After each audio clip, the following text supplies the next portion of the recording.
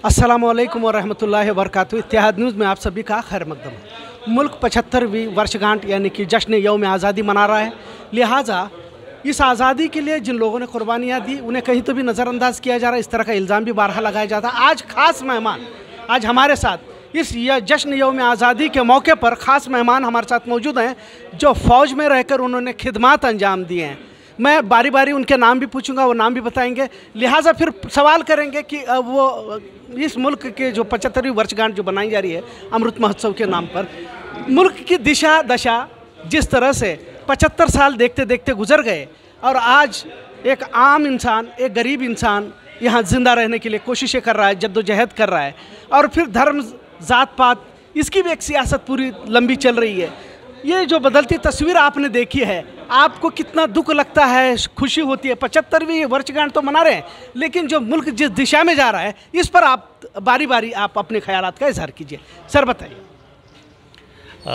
सबसे पहले मैं आज आप सभी को यौम आज़ादी के पचहत्तरवीं वर्षगांठ पर सभी का हार्दिक स्वागत और अभिनंदन करता हूँ। मैंने 30 साल फौज में नौकरी किया, जैसे कि अभी आपसे पूछा गया, बताया गया। आज के दिन को मनाने के लिए सिर्फ़ फौज ही नहीं, पूरे देश, पूरे दुनिया के लोगों ने अपनी कुर्बानी दी थी, जिसमें कि कोई कम्युनिटी नहीं था।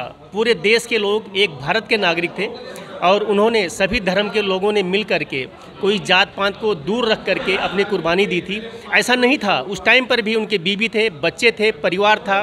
आज तो फौज में कुर्बानी देने के बाद सरकार बहुत कुछ देखभाल करती है, लेकिन उस टाइम के फौजियों के लिए ऐसा कुछ लिखित में नहीं था। लेकिन फिर भी आज़ाद भगत भगत सिंह, तात्या टोपे अशफाकुल्ला खान, ऐसे ऐसे महापुरुष जो कि अपनी कुर्बानी दी और देश को आज़ादी दिलाया। लेकिन आज जब मैं शहर में रह रहा हूँ, रिटायर होने के बाद, जब मैं इसकी तुलना बॉर्डर से करता हूँ तो मुझे लगता है कि मैं बॉर्डर में ठीक था।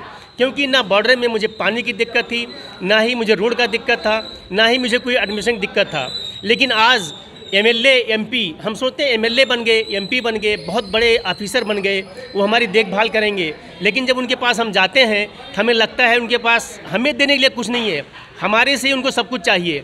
एक आम आदमी आज पानी के लिए, रोड के लिए एजुकेशन के लिए, सड़क के लिए तरस रहा है। जब हम शहर में जाते हैं तो अपने जेब को हम दस बार टटोलते हैं कि क्या खरीदें, क्या ना खरीदें। लेकिन हमें बॉर्डर पर इसकी चिंता नहीं थी। हमारा परिवार अपने घर में रहता था, हम बॉर्डर में होते थे, हमें सिक्योरिटी की कोई चिंता नहीं थी, ना ही बच्चों की एजुकेशन की कोई दिक्कत थी। आज मैं जिस इलाके में रह रहा हूँ अमान नगर में, जब मैं इसको देखता हूँ तो मेरे आँखों से आँसू आ जाते हैं कि आज भी हम पचहत्तर साल होने के बाद भी देश में फ्री पानी फ्री रोड, फ्री सुविधा की व्यवस्था होने के बाद भी हम मटके लेकर के कारपोरेशन के पानी के लिए घूम रहे होते हैं। तो ऐसी हालात जब देश की होती है तो बहुत दुख और तरस होता है और ये लगता है आगे क्या होगा। इन्होंने पूछा है कम्युनिटी के बारे में, धर्म के बारे में। मैं एक ही बात बोलूँगा, मैं फौजी हूँ, मैं किसी धर्म विशेष को नहीं मानता हूँ, मेरा एक ही धर्म है, जय हिंद, जय भारत। लेकिन जब मैं देखता हूँ, हमारी फ़ौज में जब हम फ़ील्ड में होते थे, एक ही जगह पे दो टेंट लगते थे, एक मंदिर होता था, एक मस्जिद होता था, और हम प्यार से ज़िंदगी जीते थे, त्यौहार मनाते थे, पूजा करते थे, नमाज़ पढ़ते थे, कोई किसी को डिस्टर्ब नहीं करता था, उसका एक ही कारण था डिसिप्लिन अगर सिविल में जितने अधिकारी हैं, ऊपर से नीचे तक, अगर सब डिसिप्लिन हो जाएँ, और ऐसी चीज़ों को अवॉइड करें तो हम जैसे कि कहा जाता था अंग्रेज़ों के ज़माने पे भारत एक सोने की चिड़िया थी। आगे आते आने समय में सोने हीरे जवाहरात सबकी चिड़िया भारत बन जाएगा और भारत को आगे बढ़ने से कोई रोक नहीं सकता है। सर आप, आपने जैसा बहुत सारी बातें कही लेकिन ये देखा जा रहा है कि अब फौज के भी अफसर हैं बड़े बड़े वो भी अब किसी सियासी पार्टी की हिमायती बनकर टीवी चैनलों पर आते हुए नज़र आता है। तो ये एक तब्दीली आपको कैसे लगती है? नहीं, ऐसा नहीं है। जो फौजी अफसर हैं, जब तक वो वर्दी में किसी सियासत के बारे में बोल नहीं सकता है। वर्दी के बाद भी सियासत के बारे में नहीं बोल सकता है। लेकिन जब वो सिविल में इलेक्शन इलेक्ट होकर के आता है, जिस पार्टी में जाता है, उस पार्टी के मुखिया लीडर के हिसाब से अपने आप को मोटिवेट करता है। वो अलग होकर के, अलग फौज के बारे में कुछ भी नहीं बोल सकता है। लेकिन हाँ मैं उनके बारे में कहूँगा, उनको ज़िंदगी का इतना तजुर्बा है, उन्होंने ज़िंदगी को और मौत को दोनों को साथ साथ देखा हुआ है।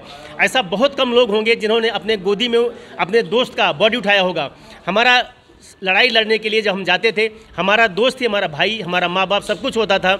हम उसका धर्म नहीं पूछते थे उसके साथ हम मर जाते थे और उसको उठा के लाते थे। लेकिन जो ये बात आप कह रहे हैं कि सेना के जो अफसर पॉलिटिक्स में हैं वो सेना छोड़कर जाने के बाद हैं तो उसके बारे में मैं आर्गूमेंट नहीं कर सकता हूँ। जी मैं एक बहुत संजीदा सवाल मैं बता रहा हूँ आखिरी क्योंकि ये ये लोगों के सामने वजाहत भी ज़रूरी है कि अ, पिछले जो मालेगांव बम धमाके वगैरह हुए तो कर्नल पुरोहित का भी नाम आया। तो इसके साथ साथ और भी कहीं कर्नल और फौजी लोगों के। तो क्या कुछ बदल रहा है? क्योंकि धर्म, जात, पात, सियासत, ये फौज में तो देखी नहीं जाती। फौज में तो एक ही इंसान ये एक ही धर्म है, वो है भारतीय। तो ये लेकिन जब बदलती तस्वीर को आप महसूस कर रहे हैं, या ऐसा एक एकाध वाक्य हो सकता है, बाकी ऐसा कुछ नहीं। देखिए, आप जो कह रहे हैं, कर्नल रैंक एक बहुत ही सम्मानित रैंक है। और आज मुझे आप भी कह सकते हैं, लेकिन जब तक कोई चीज़ सिर्फ़ साबित नहीं होता है, कोई चीज़ फैक्ट को लाया नहीं जाता है, कुछ भी किसी कहने से उसको मानना नहीं चाहिए। ये सिर्फ़ एक प्रोपगंडा बेसिस पे प्रोपगंडा बन जाता है और उसमें किसी को बदनाम करने की साजिश की जाती है। नहीं, इलेक्शनों में भी हमने देखा कि फौज के लोग भाजपा को वोट डालने के लिए कह रहे थे। कई सारे वीडियोज़ वायरल भी हुए थे सोशल मीडिया पर। इस पर आप कुछ जानते हैं, सर? नहीं, जो वायरल वीडियोज़ हैं और जो इंटरनेट से इस पर कुछ भी किया जा सकता है, इसको हम सही मान करके फैक्ट मान करके हम इसको लाइन में नहीं ले सकते हैं। आखिरी सवाल, सर, कि मुल्क की बदलती तस्वीर जिस तरह से धर्म जात पात की सियासत चली जा रही है, आज पूरी सियासत ही इर्द गिर्द इस धर्म की, इसके पीछे घूम रही है तो नौजवान को आप क्या पैगाम देना चाहिए नहीं, मैं तो एक सिंपल सा पैगाम दूना चाहूँगा, जब मैं पैदा हुआ था तो भगवान या अल्लाह किसी को नहीं पता था कि मैं कौन से धर्म में जा रहा हूँ, कौन से मज़हब में जा रहा हूँ। लोगों ने मुझे यहाँ मुस्लिम बना दिया, मैं मुस्लिम बन गया। लोगों ने अगर मुझे हिंदू बना देते, मैं हिंदू बन जाता। तो मैं यही रिक्वेस्ट करूँगा सभी को कि अगर जब भगवान के यहाँ से कोई कम्युनिटी लेकर नहीं आए थे तो दुनिया में आने के बाद आप जिस कम्युनिटी में हैं तो इंसानियत की कम्युनिटी को आपने ज़ोर देना चाहिए और इंसानियत को आपने डेवलप करना चाहिए। सर, आपका नाम और आपका रैंक। मेरा नाम है कैप्टन रहीमुद्दीन और मैं किसी सियासत से बिलोंग नहीं करता हूँ, लेकिन मैं मानवता के दुख को एहसास करता हूँ, क्योंकि मेरा एक सवाल और भी आपके साथ में है कि अगर आप मानते हैं कि हिंदू धर्म या मुस्लिम धर्म या कोई भी धर्म तो अगर उसमें ऐसा होता, आप मुझे कह दीजिए, अभी मर जाऊँ तो मैं मर नहीं सकता हूँ, मैं आपको कह दूँ तो मर जाओ, मर नहीं सकता। क्योंकि सभी कम्युनिटी के लोग कोई साठ साल, कोई पचास साल, कोई सत्तर साल और कोई पैदा होते मर जाता है तो हमें कम्युनिटी छोड़ करके इंसानियत के मुद्दे पर काम करना चाहिए। शुक्रिया। अस्सलाम वालेकुम पचहत्तरवा योम आज़ादी का खुशियों के दौरान मैं एक चीज़ बताना चाहता हूँ। जहाँ पे भी रहो खुशी रहो और अमन के साथ रहो। हमारे साहब ने बहुत अच्छा अच्छी अच्छी चीज़ें बताई है योम आज़ादी के बारे में और इस देश के बारे में। यही बहुत है। मेरा नाम रशीद अहमद है और मैं अमन नगर में रहता हूँ। रैंक नायक है। चाँद साहब देसाई। आप बोलो मैं नए सरदार आपा साहब हुलीकट्टी